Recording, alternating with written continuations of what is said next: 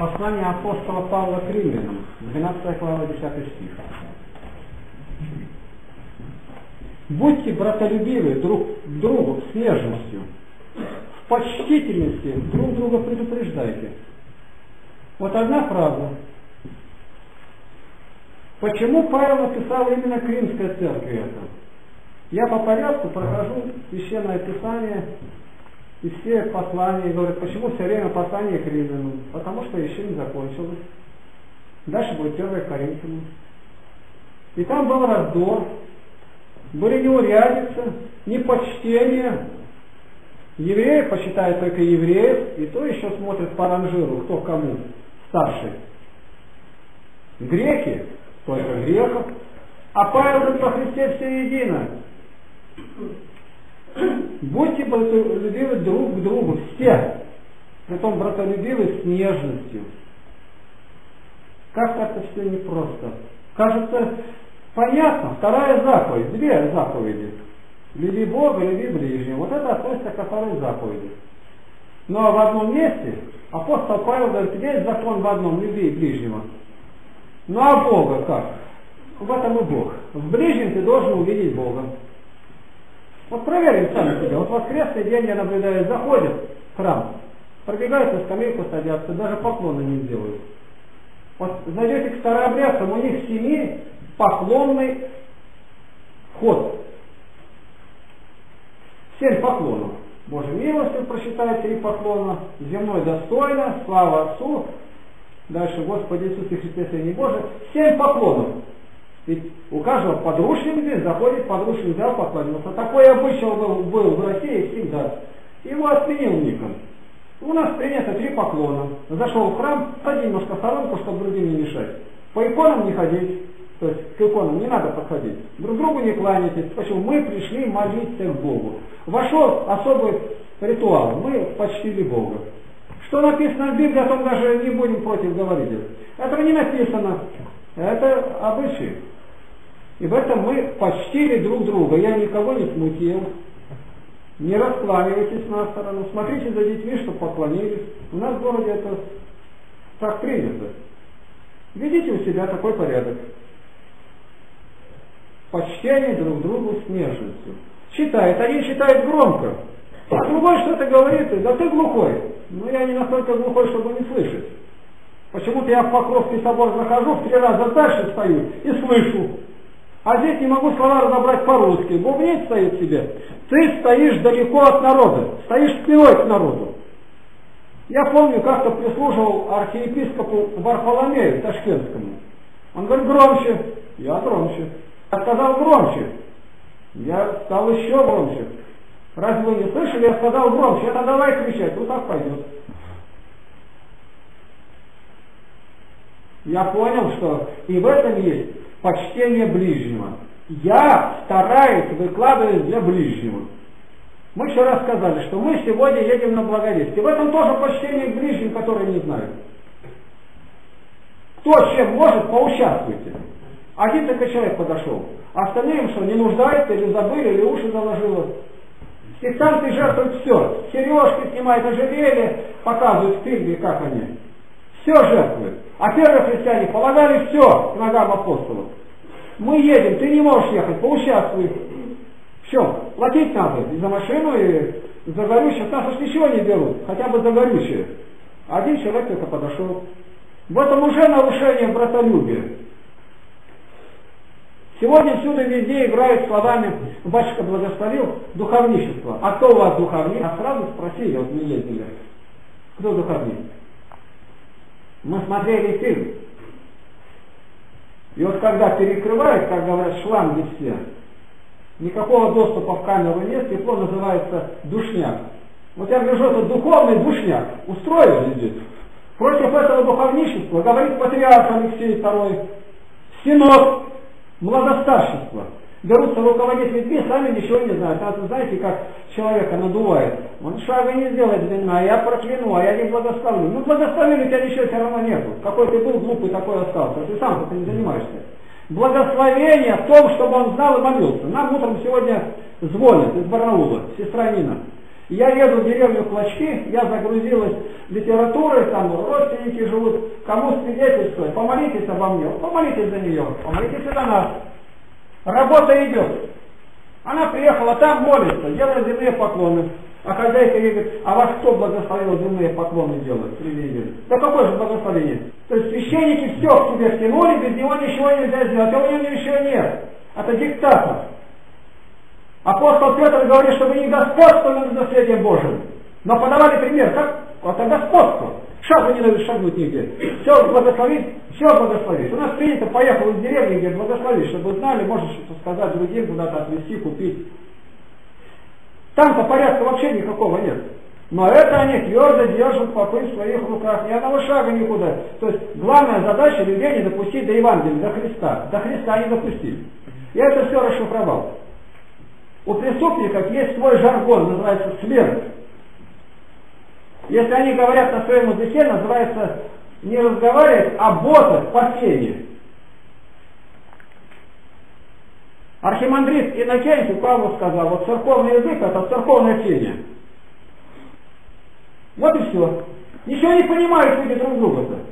Да какое же это братолюбие? Братолюбие, я тебя люблю и хочу тебе передать то, что я имею. Чего я большим трудом достиг.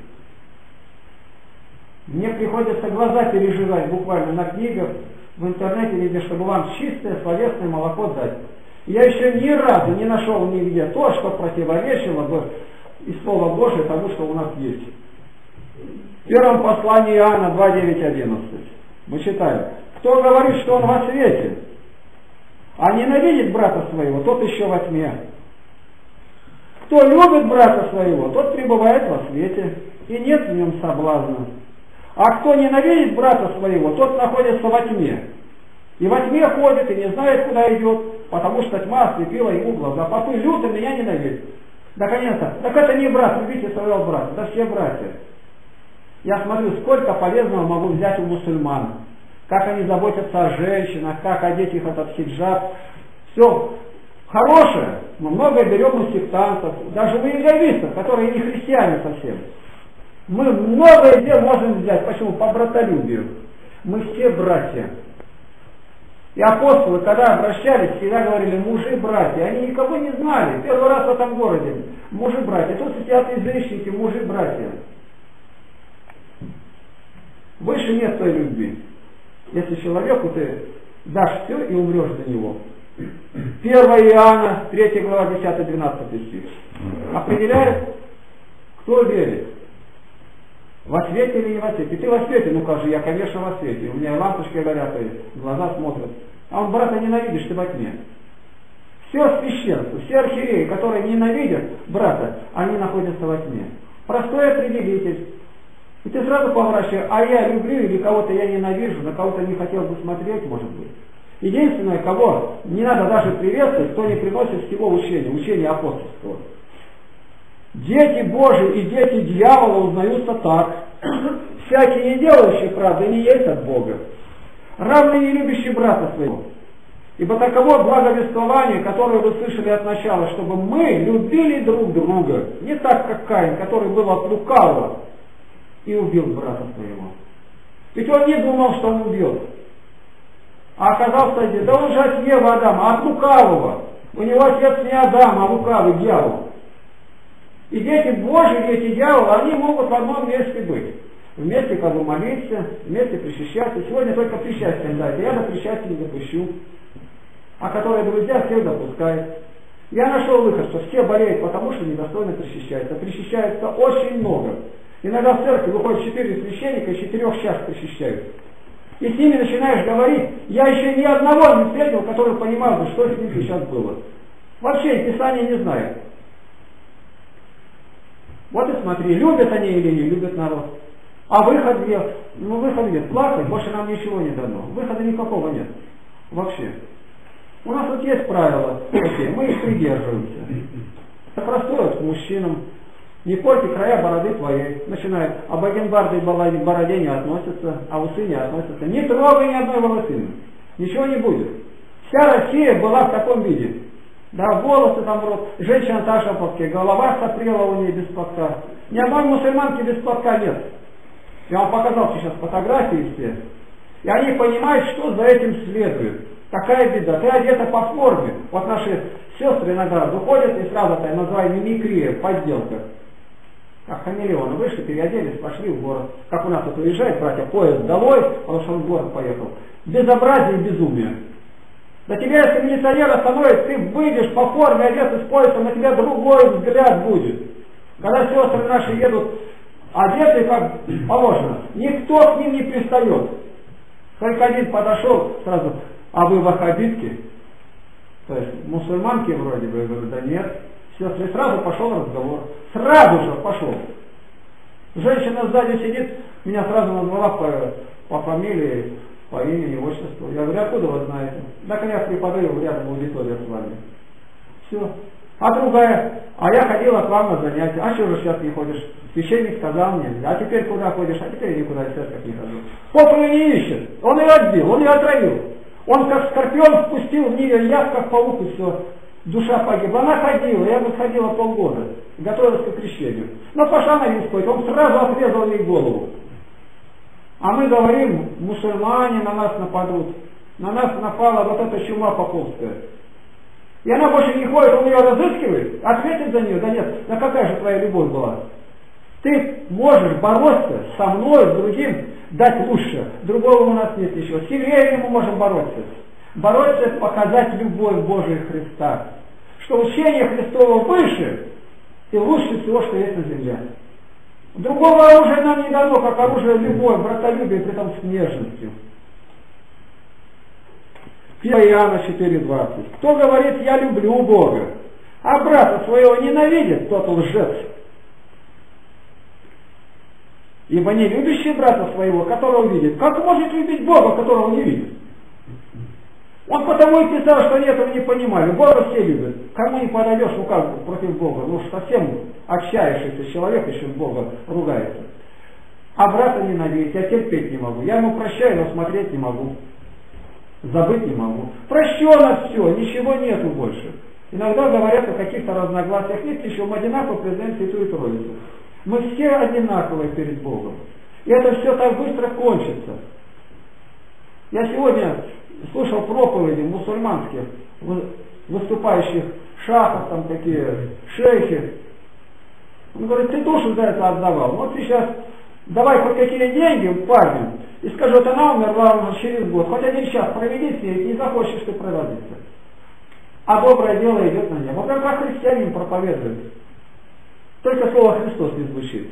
А у нас и этого нет. Вот сегодня что читали? Апостол Павел говорит, мы гонимы отовсюду, нас преследуют, перечисляет в ударах. А почему преследуют? И везде за проповедь. Я родил благовествование. Все беды, какие Павел перечислил, все боляшки, раны, рубцы, только за благовестие. Почему? А мы скитаемся. Что скитаться? Священник, он не скитается, он на алтаре присох и стоит там Куда она ходила? Он, он прикованный кандалами, он гремит у него. Они любят эти побрякушки-то. Все, что терпели апостолы, только за благовестие. Они ходили с места на место, их гнали, пинали, прибывали камнями, сажали в тюрьму. Сегодня никто не будет трогать. Если вот сейчас при этой власти, они говорят демократичная, это антинародная власть, которая народ ограбила. Она против народа все сделала. Если бы сейчас стали проповедовать, обличать власти, гонение завтра же началось бы. Но этого нет. Обличения нет. И никто не трогает. Освещают какие-то памятники, офисы, банки, и везде священники, все с кадилами, с крапилами, едут казачьи полки освещают, знамена.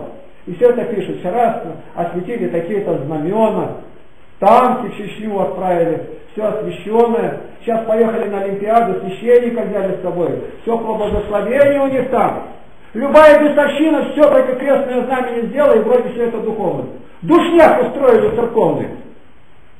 Как недавно один священник сказал, магизм православный. И никто как будто этого не видит. И антихристу, его не надо звать, он уже готов, ему почва приготовлена. Антихриста не примут только там, где любят Христа. Первое послание Петра 1.22. Послушанием истины, истине, через Духа, очистив души ваши нелицемерному братолюбию, Постоянно любите друг друга чистого сердца. Чтобы постоянно любить, надо вдруг очистить.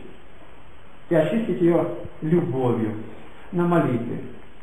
Какое-то сомнение подошло, недоверие, сразу на молитву. Никто не видит.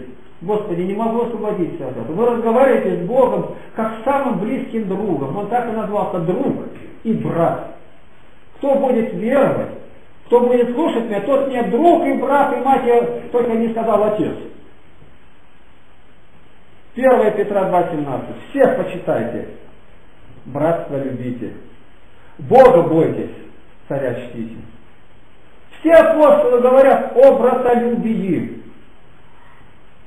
А это не евреи так понимали, ну, брат, ну, в общем-то, еврей только, а Господь рассказал притчу, самарянина вывел, который поднял. Братья-то твои, поп-то мимо проскочил. Ну, диакон еще рядом только обошел, посмотрел, и скорее тоже бежать. А этот-то подошел его, и на славу звонил, как ему не просто было. И Илье, и масло возливал, сколько любви оказал. И кто ближний? Того, что он только сказал, что самарянин, даже слово самарянин не стал говорить, он считал, что язык осквернит, оказавший милость. И мне кажется, он букву отвернулся. Христу они этого простить не могли. Что он выконал, что сектант какой-то лучше. Это самые настоящие сектанты были. Они чтили Бога и чтили своих богов. 1 Петра 3, 8, 9. Наконец, будьте все единомысленны, сострадательны, братолюбивы, милосердны, дружелюбны, смиренно мудры. Не вызывайте злом за зло или ругательством за ругательство. Напротив, благословляйте, зная, что вы к тому призваны, чтобы наследовать благословение. Когда меня освободили из тюрьмы, я поехал по всем знакомым везде, благодарили Бога, встретился с теми, кто сидел, такие как Глеб Якунин, Зоя Крахмальникова.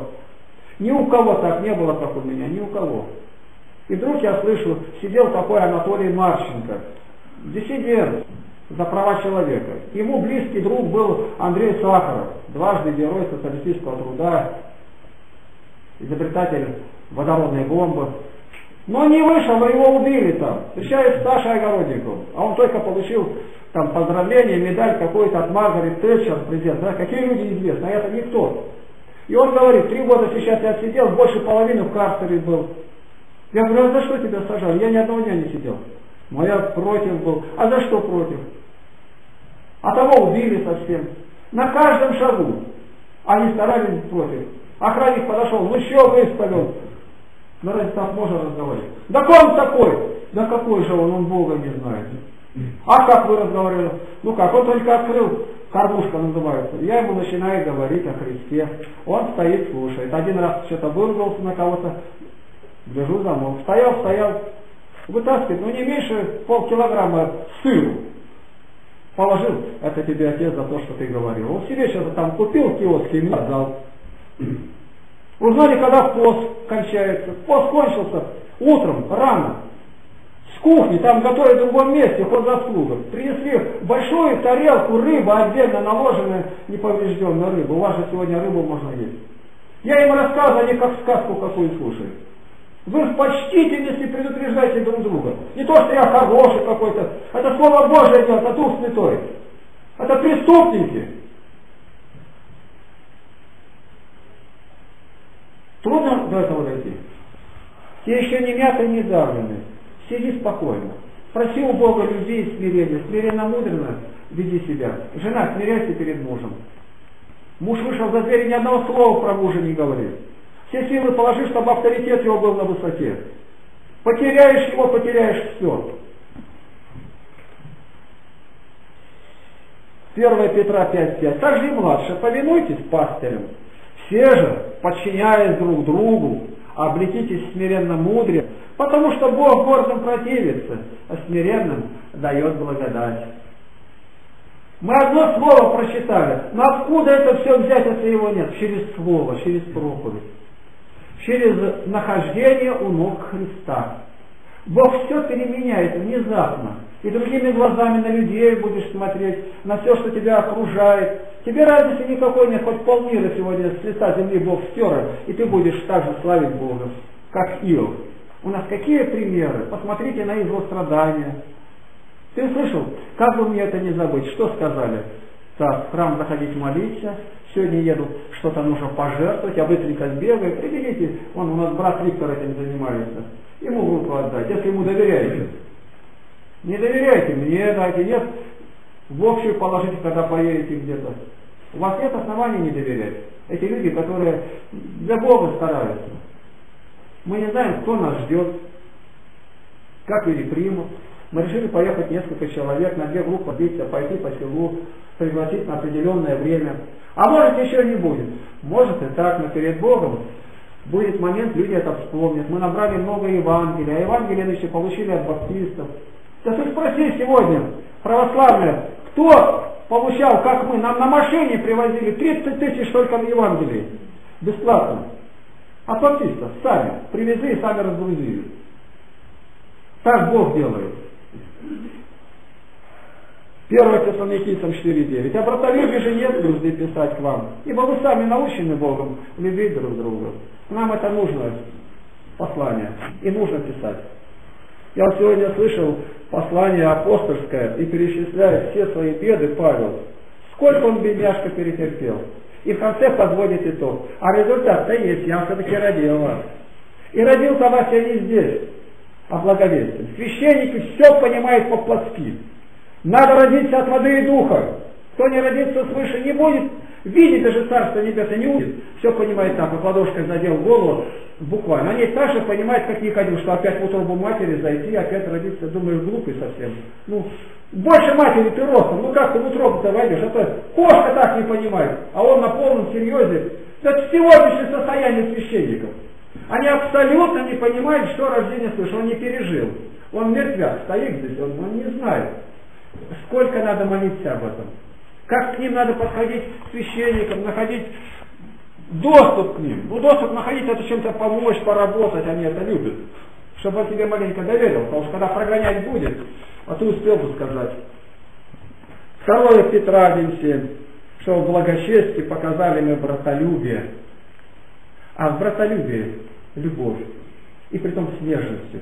В почтительности предупреждайте друг друга. То есть первый Одна, одна табуретка, кто первый кому подставит ее, кто первый пригласит, кто первый соскочит. Раньше было как, старый зашел, трамвай, автобус, молодой же стал, ему место уступил. А сейчас не так, он сразу голову отвернул в сторону, чтобы тебя не видеть. Ведь у нас-то точно так же. Рядом пожилые сидят, молодые уже хлопнулись. Да и старые-то, которые садятся, никакой нужды нет, короткая служба, совсем больной может. На огороде пашет как трактор, не присядет. Я вижу, с голубятни. Как только заходит в храм, уже упал. Имейте совесть. Бог отшибет ноги, совсем ног не будет. Ты пришел в храм Божий. Вам пример дам, стоят люди, за 80 лет и не садятся. Смотрите, и в этом почтение друг другу. Почтение в том, что я оказываю пример. Я тоже могу упасть, тоже больная нога, даже помыслить страшно. Я пришел в Дух Божий, да буду шататься, уцеплюсь за стенку, но не сяду. Я не могу себе это позволить. Я говорю, как мне хотелось спать в камере. Ухвачусь за верхнюю шконку, кровать, и сам себе наговариваю, какое ты имеешь право? Земля крутится, тебя охраняют, поезда бегут, а ты пришел спать сюда окаянный-то, и так сюда накачаю, и, и все отойдет. Маленько построже на тебя смотри. Завтра еще хуже будет, на один день будем старые, старее. И что тогда будет? Только мертвецов будем жалеть. Если ты никого не приведешь к Господу, а привести можешь только любовью и благовестием, то с чем придешь к Господу? Мы должны ждать этой встречи, а не бояться, пудами таблетки глотают. Выкиньте всю эту пакость и надейся на Бога. Чуть что опять болезнь, через пять минут здоровье. Все это духовное. Я пришел сюда и выйду другим. Господи, благослови меня, чтобы братолюбие всегда было со мной. И в почтительности я не забывал а первый это. Вот только выйдем, посмотрим, кто первый подойдет помочь на благовестие. Аминь. Аминь.